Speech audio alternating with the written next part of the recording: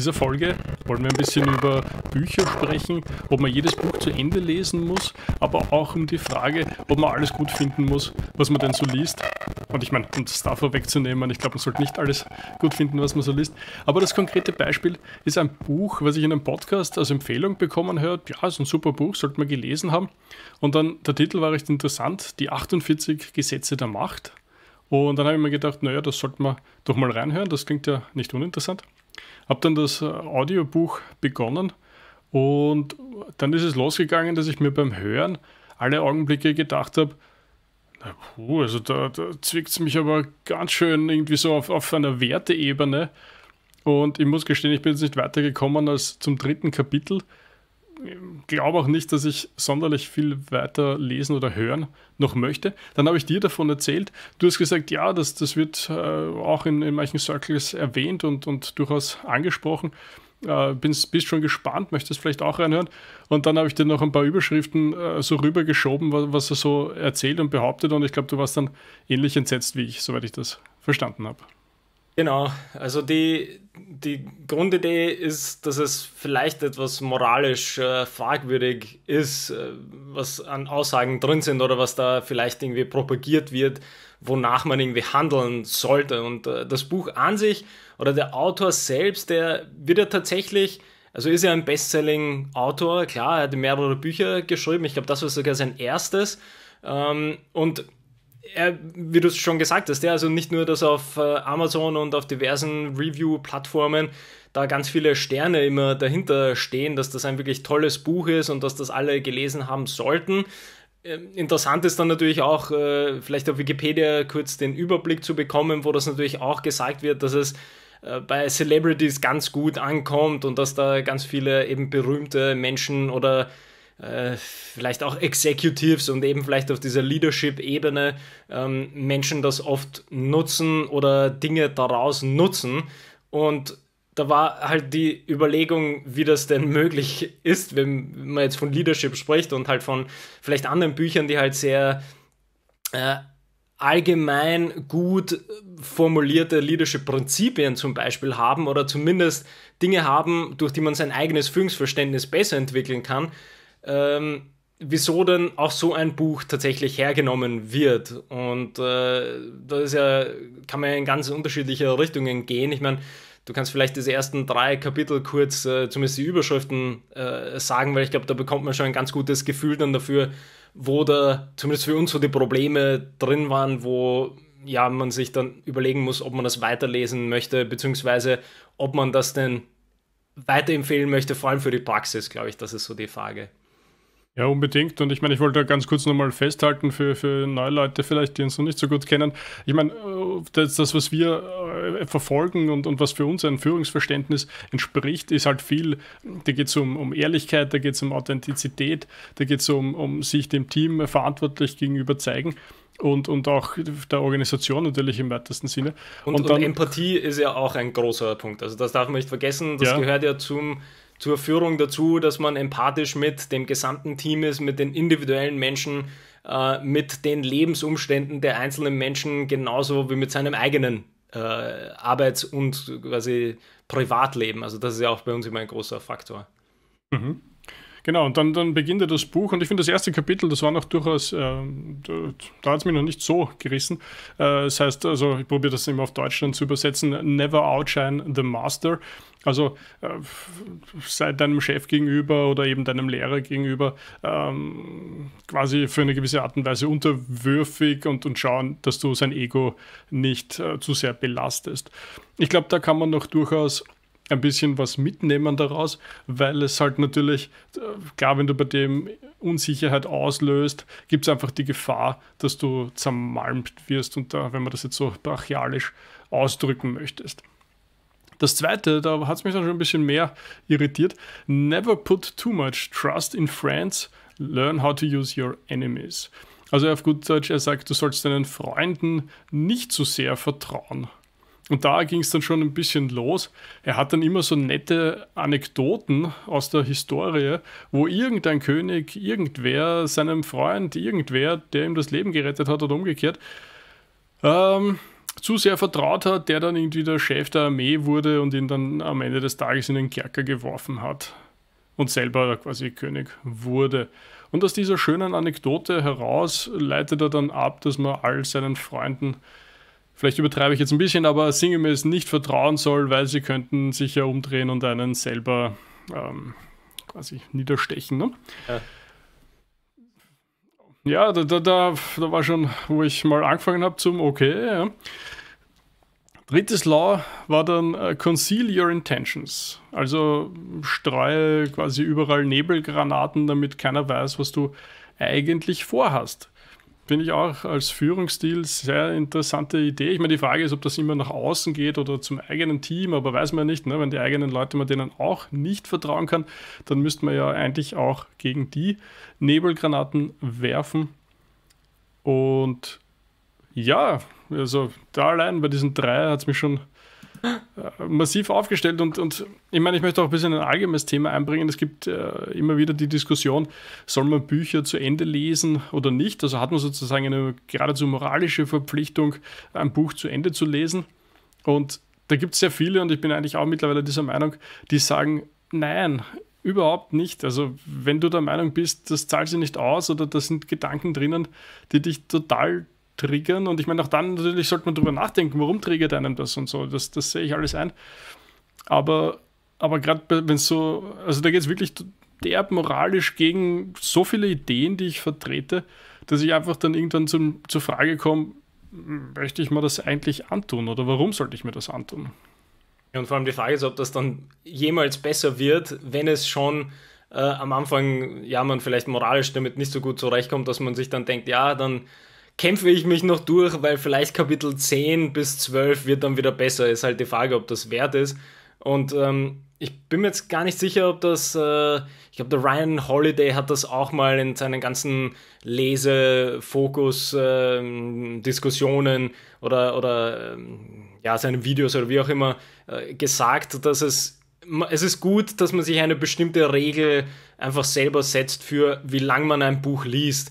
Und ich müsste nochmal genauer nachlesen, aber vielleicht sowas wie ähm, 100 minus das Lebensalter und wenn es bis zu den äh, Seiten quasi nicht einen so greift, dann soll man das Buch einfach weglegen, weil eben das macht ja macht einfach keinen Sinn, da sich da weiter damit zu beschäftigen, wenn es offensichtlich Probleme bereitet und man sich eben die Frage stellen muss, ob man dort überhaupt noch was rausholen kann. Also war jetzt nur Hausnummer, ja, es, äh, die Regel kann natürlich auch ganz anders sein und das muss man sowieso für sich selber herausfinden, ab wann man äh, aufhört, etwas zu, zu lesen. Und grundsätzlich würde ich auch sagen, dass es, natürlich muss man nicht alles fertig lesen.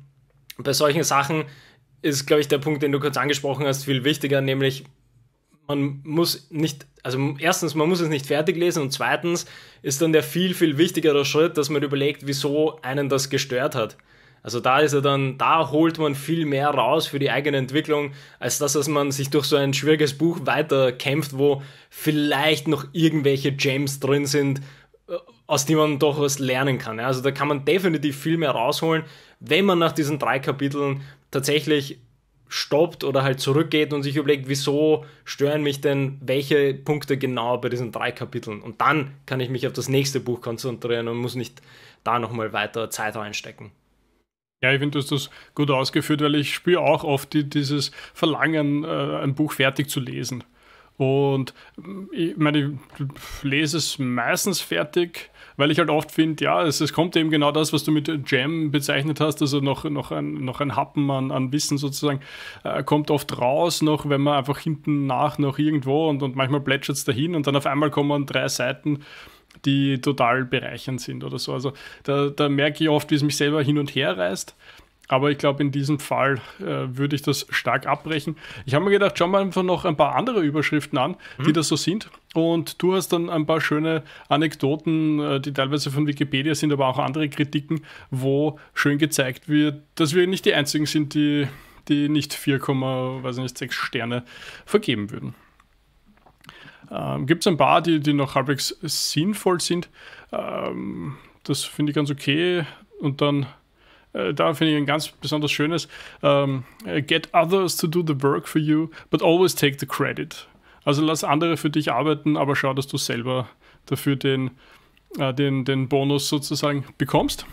Das äh, hilft sicher immer gut bei den Leuten.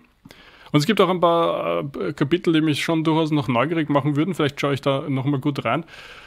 Ähm, er sagt da, win through your actions, never through argument. Und das äh, ist natürlich vielleicht gar nicht so schlecht. Ne? Also nicht, äh, ich würde es jetzt übersetzen als, dass du nicht, nicht, nicht, nicht nur rein sprachlich das gewinnen sollst, sondern schon durch deine Aktionen mhm. und so. Ja, da gibt es äh, verschiedenste.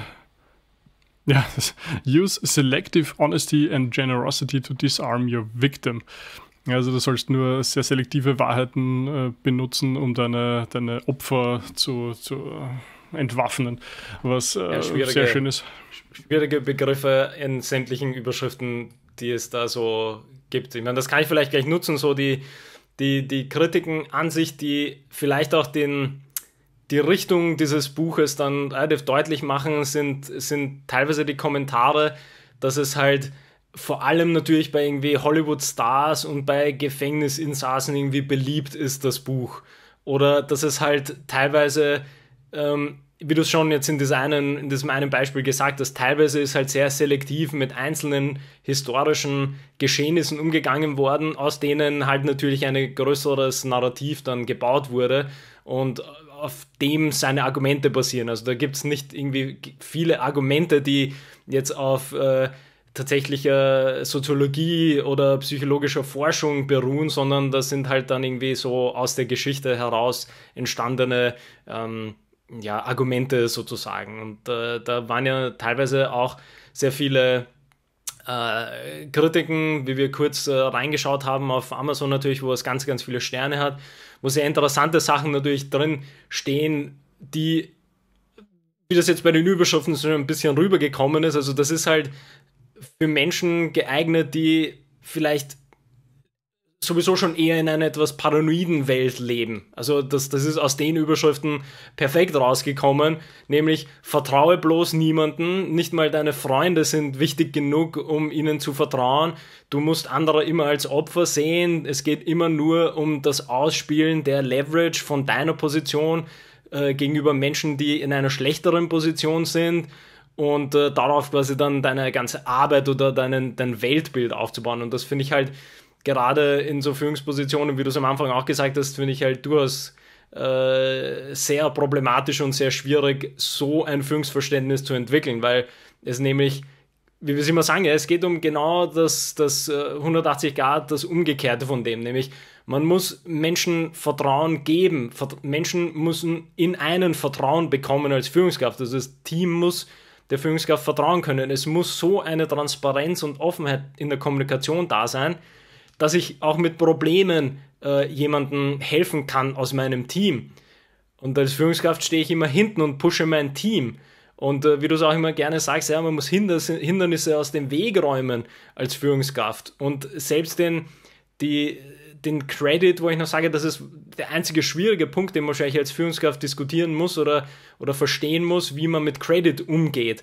Weil man gleichzeitig durch diese Führungsposition natürlich die volle Verantwortung für Fehler übernimmt, muss, muss man. Und dann ist natürlich die Frage, wie geht man halt mit Erfolg um? Und das ist der einzige, finde ich, eine Stellschraube, wo man vermutlich noch diskutieren kann, eventuell das Buch sogar hernehmen kann. Ich weiß nicht, was dann in dem Kapitel genau drin steht. Aber der Rest sind halt tatsächlich Umgänge, die einen und da gab es ein paar sehr nett geschriebene Rezensionen auch dazu, dass das halt letztendlich zu einem ja, zu einem, zu einer Backstabbing, äh, also einer, einer hinterrücks funktionierenden Gesellschaft oder, oder, oder Team führt, wenn du diese, diese Gesetze tatsächlich so umsetzt, äh, dann führt das halt zu einer, ja, ich will nicht sagen Anarchie, aber halt zu einem sehr unschönen Ende gesellschaftlich oder halt als zwischenmenschlich. Zwischenmenschlich ist das halt eine, eine slippery slope oder halt so ein Teufelskreis, in dem man sich dann freiwillig hinein begibt. Und ähm, ja, genau. Ja, voll. Also, weil, wo, wo soll das hinführen? Das ist ja ein bisschen die Frage. Und ich habe auch da noch einen Gedanken dazu gehabt, ob es vielleicht, so wie du es gerade beschrieben hast, dieses, dieses ähm, in die Irre leiten und dieses Nicht-Vertrauen, ob das vielleicht äh, möglich wäre, dass man sagt, in, die, in, den, in den Wettbewerb setzt man diese Regeln sozusagen. Also, du sagst nach außen hin, äh, da, da, da, da wirfst du ein paar Nebelgranaten und äh, das unklar ist, was deine Strategie der Firma ist, etc. Und nach innen hin, äh, bist du dann halt irgendwie das, was wir verkörpern. Und ich glaube, das, das funktioniert aber nicht. Ich kann mir nicht vorstellen, dass das funktioniert, dass du, dass du in deiner Kommunikation so zwiegespalten bist. Und vor allem, wie soll das auch funktionieren? Jetzt machst du, weiß nicht, ein Shareholder-Meeting und da redest du so, so, so, so. Und dann drehst du dich um zu deinem eigenen Team und bist auf einmal total offen und, und hin und her. Das ist auch schon öfters diskutiert worden im, im Locker-Room-Talk, jetzt beim, wenn wir wieder zum Sport zurückkommen mit der Frage, äh, wie soll man gegenüber den Medien und dem eigenen Team umgehen? Kann man sich quasi in die Medien hinstellen und dieses und jenes behaupten und sich dann umdrehen und im Teammeeting behaupten, alles ist ganz anders? Und glaubt man dann, dass die, die Spieler jetzt in dem Fall, aber auch was den Mitarbeitern entspricht, dass die eben nicht die Medien verfolgen oder nicht mitbekommen, was dort gesagt wird und dann also das, das, wird ja total komisch, ja, weil du, du konterkarierst ja deine eigene Position. Wie, wie willst du jemals glaubwürdig sein? Also ich glaube, auch dieser Mittelweg kann nicht zum Ziel führen. Ja, für mich ist da wieder dieser Vertrauenspunkt halt der allerwichtigste, den wir halt äh, versuchen, so oft wie möglich zu, zu bringen, nämlich äh, anhand des Beispieles, wer soll denn Vertrauen in dich haben, wenn du so kommunizierst? Also sobald das rauskommt, und das ist eben eine Gratwanderung, die, weiß ich nicht, ob die es wert ist, tatsächlich einzugehen. Ähm, vor allem, also wenn man das Beispiel konkret hernimmt, ist ja jetzt für Shareholder ist es ja vielleicht noch ein kleineres Problem sozusagen, weil dort kannst du halt dann quasi nicht mehr der Shareholder sein. Wenn es rauskommen sollte, dass du den Shareholdern sagst, du, ja, ja, das ist unsere Strategie und gleichzeitig kommt aber raus, deine Strategie war eine komplett gegengesetzte, dann kannst du noch immer dich irgendwie zurückziehen. Aber wenn man das jetzt von der Teamseite denkt, als Team siehst du ja beide Seiten. Das ist ja das Schlimme. Also du siehst ja, was du kommunizierst nach außen und du siehst auch, was dann die Führungskraft zu dir als Team kommuniziert. Und dann, dann muss mir mal jemand erklären, wie man denn da Vertrauen aufbauen sollte, wenn deine Führungskraft äh, nach außen in das kommuniziert, sich umdreht und sagt, ja, aber übrigens, wir machen die Strategie. Dann bin ich als Teammitglied, frage ich mich, und ist das, jetzt, ist das jetzt wirklich die Strategie? Weil wenn du jetzt schon diesen einen Turn gemacht hast, woher soll ich wissen, ob du nicht noch einen Turn machst und zu deinem Management-Team wieder hingehst und sagst, ja, übrigens, ich habe jetzt den Shareholdern habe ich A gesagt, meinem Team habe ich B gesagt, aber natürlich verfolgen wir C, weil das wollt ihr. Also das ist ja absolut äh, verrückt, äh, mit so einem Konzept reinzugehen. Und über, den, über das Sportbeispiel haben wir auch schon, ich weiß gar nicht, vielleicht im Sommer letztes Jahr irgendwie schon gesprochen, wo es genau darum ging, mit du, du kannst dich nicht als irgendwie Cheftrainer hinstellen und äh, eine unterschiedliche Kommunikation haben. Also das ist auch wieder, äh, da, da, das ist, da fehlt dir jegliche, jeglicher Weltblick. Wie du schon gesagt hast, die Spieler bekommen ja beides mit. Also die, die, schauen ja, die schauen ja die Medien, die wissen ja, was du gesagt hast. Und dann, wie, wie willst du denn dein Team äh, tatsächlich den Griff haben, wenn du so unterschiedlich kommunizierst? Also das ist einfach so ein, Finde ich absolut verrücktes Konzept, wo ich mir nicht vorstellen kann, dass man aus dieser Überschrift mit Nebelgranaten hier und äh, ausgewählte Ehrlichkeit an bestimmten Stellen, wie das jemals zum Erfolg führen kann. Also das kann ich mir einfach nicht vorstellen. Ich glaube, das ist ein der, der, der guter Punkt jetzt am Schluss. Also ich glaube, man kann diese Ideen, sowohl die einen als auch sozusagen unsere, kann man doch fast ein bisschen aus First Principles ableiten eben genau mit dem, was du jetzt gesagt hast. Also wie soll das funktionieren, zu sagen, ähm, drei Wahrheiten zu verbreiten innerhalb von einem Tag? Und, und wie soll das jemals? Ich meine, mir ist schon klar, es, es gibt sicher genug Beispiele und Anekdoten, wo das super funktioniert hat. Ja, bin ich überzeugt davon, einfach mit, mit total übercharismatischen Persönlichkeiten die, die wir alle kennen, sei es jetzt Musk oder, oder wer auch immer, ja, Steve Jobs, äh, gibt sicher genug Beispiele, aber, aber für den normalen Hausgebrauch unter Anführungszeichen, ja, weiß ich einfach nicht, wie das, wie das funktionieren soll. Und, und ja, ich würde es eben nochmal auf, auf, First Principles zurückleiten, dass das äh, am Ende des Tages kann das nicht funktionieren, zu, äh, A zu sagen, B zu tun und dann C seinen Feinden oder Freunden oder umgekehrt ähm, mit auf den Weg zu geben. Vielleicht runden wir es ab mit noch ein, zwei Überschriften, die ich gefunden habe äh, die, die es irgendwie vielleicht äh, noch unser, unseren Punkt ein bisschen verstärken. Äh, das 14. Gesetz wäre dann Pose as a Friend, Work as a Spy. Also präsentier dich äh, mhm. freundlich und sei aber in Wahrheit ein Spion. Und äh, das 15. Law, Crush your enemy totally. Ja. Ja. Ja, also äh, was vielleicht auch noch da zu erwähnen ist, ist eben die, die, das, das Verständnis über, wie die Menschheit funktioniert. Also da, das, das, den Punkt räume ich noch ein, dass das natürlich, äh, es gibt auch schlechte Menschen da draußen, das ist klar. Und das haben natürlich auch einige Rezensionen beschrieben, so, ah, das hat mir die Augen geöffnet, jetzt weiß ich, wie das alles funktioniert. Das ist absolut richtig, ja, das, das, äh, den Punkt gebe ich tatsächlich dem, dem Buch, aber daraus dann nicht eine, soll ich sagen, eine Lektion zu machen und zu sagen, hey, es gibt schlechte Menschen, sei ein guter Mensch und dann darüber ein Buch zu schreiben, äh, das finde ich dann wieder, wieder fragwürdig, weil, also klar, man kann wieder darüber streiten, ob man diese Sachen tatsächlich in die Praxis umsetzen kann. Und äh, wieder der Punkt, dass das halt von Gefängnisinsassen und irgendwelchen Celebrities äh, zumeist äh, populär gemacht wurde, sagt, glaube ich, schon einiges, in welcher menschlichen oder gesellschaftlichen Schicht diese Dinge tatsächlich dann genutzt werden. Aber ich würde dann argumentieren, das ist genau die Schicht, wo man nicht hinwollen würde, sondern man muss quasi dieses Verständnis für bestimmte Probleme haben. Aber worüber wir auch reden, ja, man muss halt eher versuchen, ein guter Mensch zu sein. Also es ist, das ist die Grundlage dann von allem. Und das ist auch ein bisschen so ein Führungsverständnis, dass ich will ja nicht irgendwie äh, mit allen Mitteln gewinnen, sondern hinter allen Gewinnen und jedem Team stehen halt Menschen. Also das ist, bin ich als Mensch äh, Führungskraft und meine Teammitglieder sind auch Menschen. Und irgendwie muss ich eine Ebene finden, wo ich beides vereinbaren kann. Dass ich sage, klar, wir wollen Erfolg haben, aber gleichzeitig nicht äh, mein Team in den Burnout führen zum Beispiel. Und das kann ich halt nur, indem ich da ein bisschen empathisch auch umgehe mit der Arbeit und den Arbeitsprozessen. Also das ist dann, ja, schwierig. Ja, ich glaube, du hast jetzt äh, eh so implizit ein bisschen gesagt. Ich glaube, äh, Menschen, die das anziehend finden oder die so agieren wollen, äh, da solltest du sehr vorsichtig sein und also äh, schauen, dass sie nie irgendwie in dein Team kommen oder, oder wenn du merkst, also überhaupt vielleicht aus der Organisation heraus, also glaube ich ganz schwer, wenn, meine, ich weiß schon, wenn, wenn du riesigen Organisationen hast, dann hast du per Definition immer natürlich Leute, die, also wir wissen ja, dass, glaube ich, jeder 40. ein Psychopath ist, so sinngemäß. Klar, wenn du da irgendwie 5000 Leute in deiner Organisation hast, dann kannst du einfach davon ausgehen, dass du da ein paar Psychopathen hast. Aber gehen wir mal halt vom kleineren Maßstab äh, deines Teams, deines Bereichs, deiner Abteilung aus.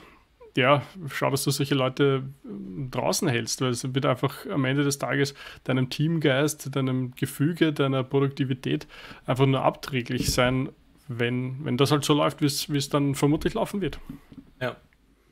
Ja, also wie gesagt, ich glaube, die Zusammenfassung oder der Takeaway ist einfach, man muss wie auch alle anderen Dinge mit dieser, äh, um, um diesen schönen Bogen zu schließen zu den richtigen Führungsprinzipien, wie das Joker auch immer sagt, man muss diesen Schritt zurücknehmen und äh, das Ganze erstmal aus der Distanz betrachten und äh, das gilt bei diesen Regeln auch. Also ich kann jetzt nicht rausgehen und sofort zu 100% alle Regeln versuchen umzusetzen, sondern, wie du es auch gesagt hast, erstmal, wenn mir drei Regeln schon ein bisschen Bauchschmerzen bereiten, dann nehme ich dort mal den Schritt zurück, überlege, was denn da drin gestanden ist, wieso stört mich das, hat das mit meinen Prinzipien zu tun, äh, hat das mit meinem moralischen Blick zu tun, mit meinem Führungsverständnis und dann kann ich weiterarbeiten.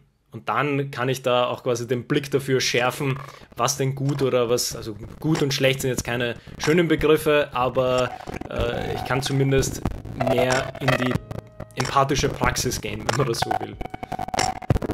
Ja, vollkommen richtig. Und ich glaube, ich glaub, dabei lassen wir es jetzt, weil, weil genau das ist der Punkt, ja. Gut, dann äh, bis zum nächsten Mal. Bis zum nächsten Mal.